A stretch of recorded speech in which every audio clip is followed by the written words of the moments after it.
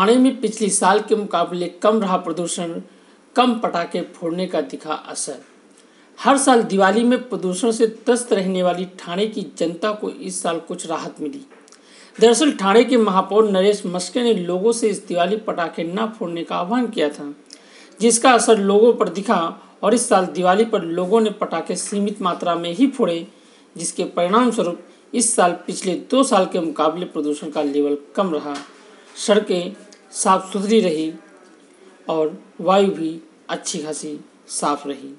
Corona Covid नाईन्टीनच्या पार्श्वभूमीवर यावर्षी ठाणे महानगरपालिकेने प्रदूषणमुक्त दिवाळी साजरी करण्याचं आवाहन केलं होतं. या आवाहनाला ठाणेकरांनी भरभरून प्रतिसाद दिला. माननीय महापौर आणि माननीय महापालिका आयुक्त यांनी केलेल्या आवाहनाला प्रतिसाद देत यावर्षी पहिल्यांदाच ठाणेकरांनी दिवाळीमध्ये फटाके होता. हा सण साजरा केला आहे. त्यामुळेच गेल्या दोन वर्षाच्या तुलनेमध्ये प्रदूषणामध्ये मोठ्या प्रमाणात घट झालेली आहे. ध्वनी प्रदूषणामध्ये घट झालेली आहे. हवेतील जे तरंगते धुलीकण आहेत त्याच्यामध्ये घट झालेली आहे.